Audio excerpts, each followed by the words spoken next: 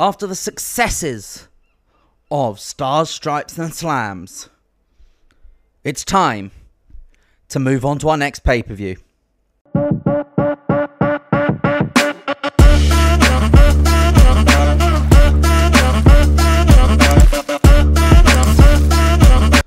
Hello there, and welcome to episode 7 of USPW Demo. But the save where we run the three months of the demo with United States Pro Wrestling just to get used to the game, see what we can do before we go big with From Then to Now in when the game comes out and when a, and and when a mod is ready. I'm not going to guarantee that, that the, From Then to Now I'll be out on Saturday. It this save will continue until I think a mod is ready for From Then to Now.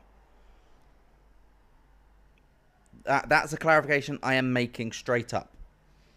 But we're after the pay per view. I've got a few things set up to start for the next pay per view. Everyone's here tonight, so we're not going to give them the day off. We ran the pay per view in Texas, so I think we stay in Texas. We were in El Paso. Let's go to Houston. Nothing, no incidents, no brawlhouses needs to do. Let's go for our team meeting, and we get all the way up to our 250 cap. I mean, this is too easy. Let's get a storyline idea. Big gamble, that's a shame. A gimmick idea.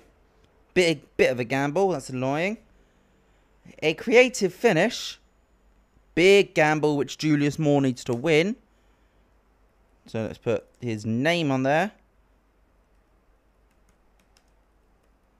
Will we probably use it? It's a big gamble. I doubt it. And a character idea. A likely to succeed character. Nice. And that means we're all good. Locker room incidents. Clutch McLean got ribbed because he's being influenced by Tyson Bane.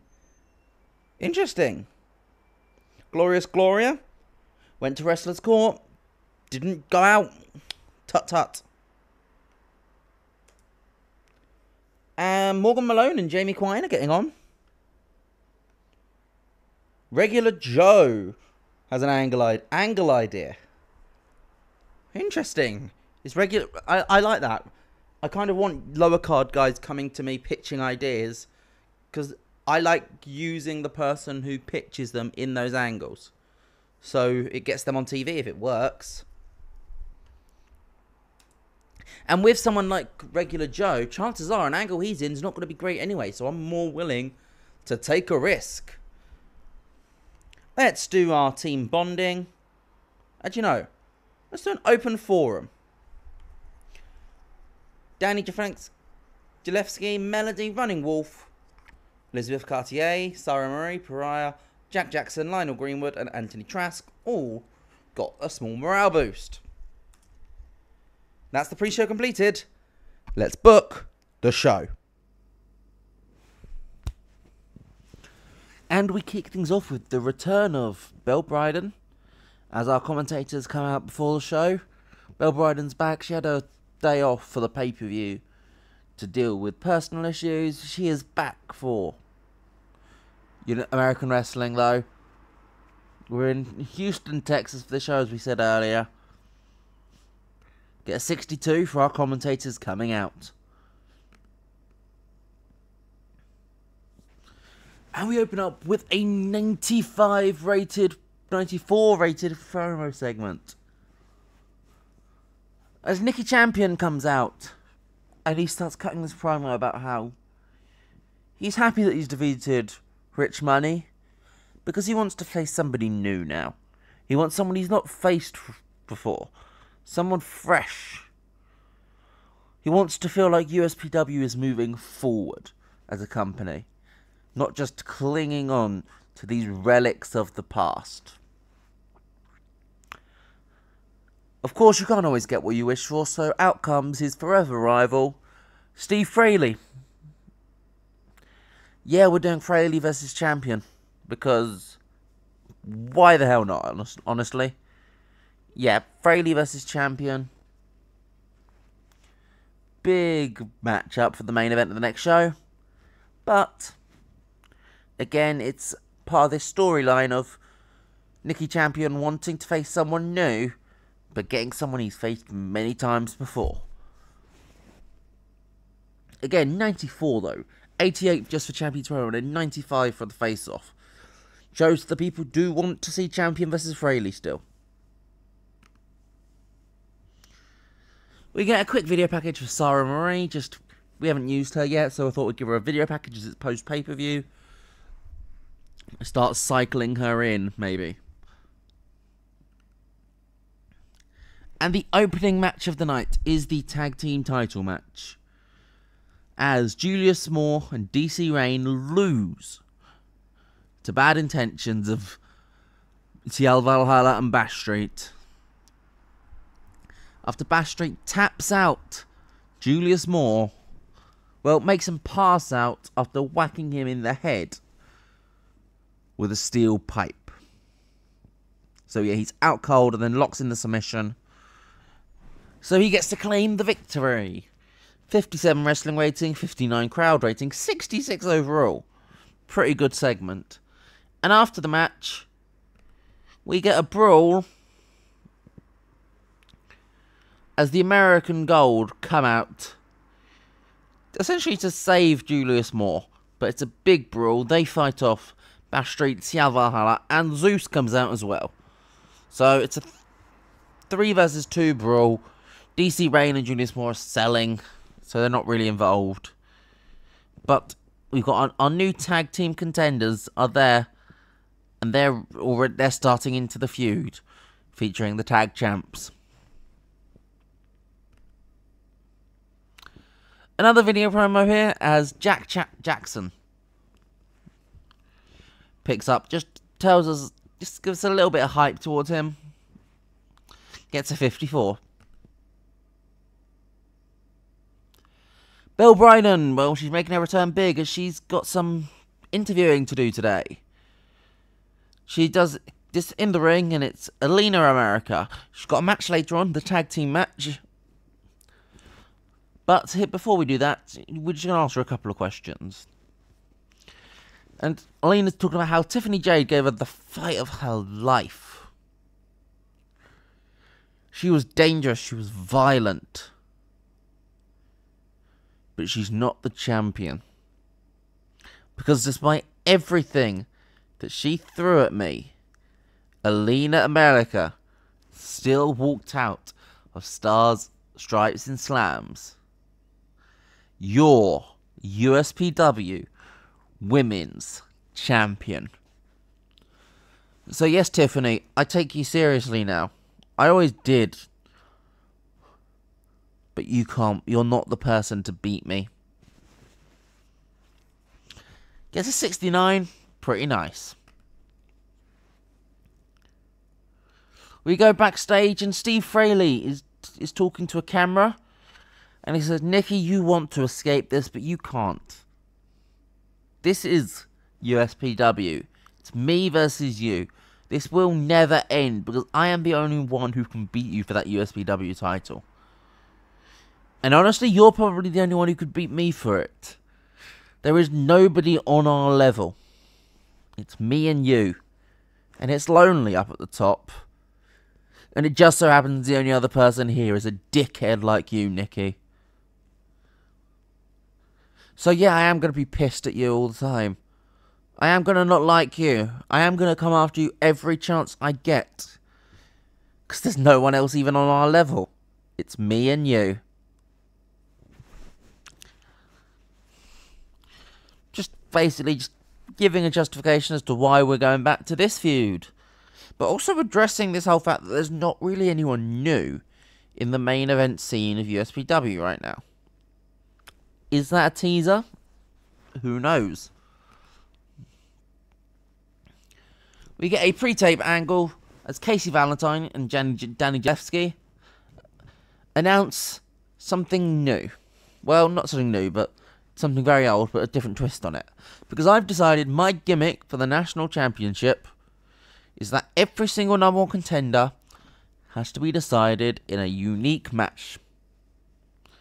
So here, we're announcing the U30 Fatal 4-Way. A Fatal 4-Way of four wrestlers, all of whom under the age of 30. This was pre-taped, so we go straight into that match. And it gets a 58 as Anthony Trask, Funky Fedora, Jack Jackson, and Leaf LeBon fight. And it is Funky Fedora who picks up the win after interference from Rich Money. Someone who definitely isn't under 30, as we made very clear in the last feud. But yeah, so Funky Fedora pins Leaf LeBon with the top rope knee drop. Jackson and Trask brawl with each other to stay out of this. And afterwards, Rich Money come, grabs the mic and he announces that he chose Funky Fedora to be his protege. Funky Fedora has helped him out backstage. And now he wants to return the favour. He wants to help him. Use his experience to benefit this company. Because Rich Money's a philanthropist, didn't you know? He cares about you. It's a shame you're all just stinking paws. Casey Valentine grabs a mic from where he's been sat at ringside and goes, Look, Funky, I wish this was supposed to be representing the youth of USPW, and somehow we're still here focusing on a man in his late 40s. I wish it hadn't gone down like this. But I will fight you, because that's what I agreed on. Once again, playing up the aging main event scene of USPW.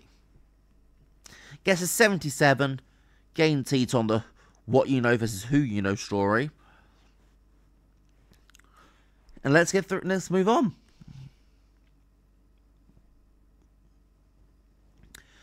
Glorious Gloria picks up a victory and it's just a quick match against Sweet Danny Adams. It's a continuation from the angle they did a couple of weeks ago in the eight man tag. Sweet Danny Adams trying to get revenge for being the loser in that match. Doesn't work. She loses again here.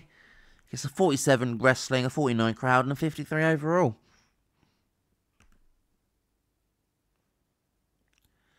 And Pariah then comes out to save Sweet Danny Adams because the entire triumvirate starts beating her down. So Pariah comes out with a steel chair and does the classic chasing them all off spot. It's the one we've all seen before.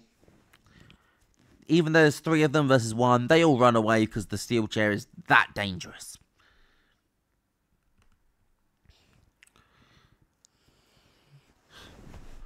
Rick Law's being interviewed by Tom Townsend. You know, back back onto interviews jobs after his one appearance on Color. And Rick Law's just being interviewed, and in comes Eddie Howard. And he starts talking about Rick, you've been here for how long? Like, I've been here around quite a while. But even then, I'm only now starting to prove myself as a single star. You've been this attempted single star for a while. And yet you've been a failure.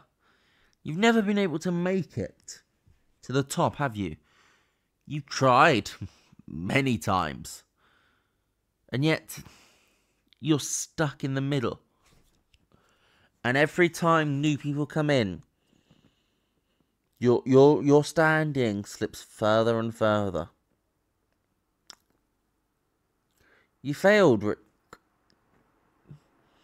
That's all. That's all there is to it. And he just walks out, and Tom asks Rick if he has any comments. He doesn't, and he also walks out. The tag match we set up last week between Alina America and Pariah versus Jamie Quine and Tiffany Jade. Pariah pins Tiffany Jade with a tornado DDT. The match tells the sto- tells a story. It's the babyfaces working together whilst the heels don't seem to get on the same page. And and that is what leads to the victory. And unfortunately, at that point, without telling me, my recording decided to cut out. So, for the last two angles on that show, we had an interview with Trent Schaffer, where he called out Running Wolf for being a coattail rider for Nicky Champion, and saying that he is only gets put in the positions he's in because of nepotism, which got a 58 rating. Before our main event match, saw Rich Money and Sterling Whitlock defeat Casey Valentine and Regular Joe when Rich Money pinned Regular Joe with the money in the bank after Casey Valentine was attacked by Funky Fedora. Went just under 15 minutes, 14.30. Got a 66. And overall, the show got a 68. If my memory is correct, it gained us in 24 and 28 and lost us in 24 regions. Which is pretty standard for what we expect at the moment. It actually is the best TV show we have booked, only being behind Star Stripes and Slams overall. But I obviously didn't want you to miss out on the ending of this episode because my computer decided to to mess around. So, there you go. Hope you guys enjoyed this video. Apologies about the weird ending. And I'll see you guys next time. Goodbye.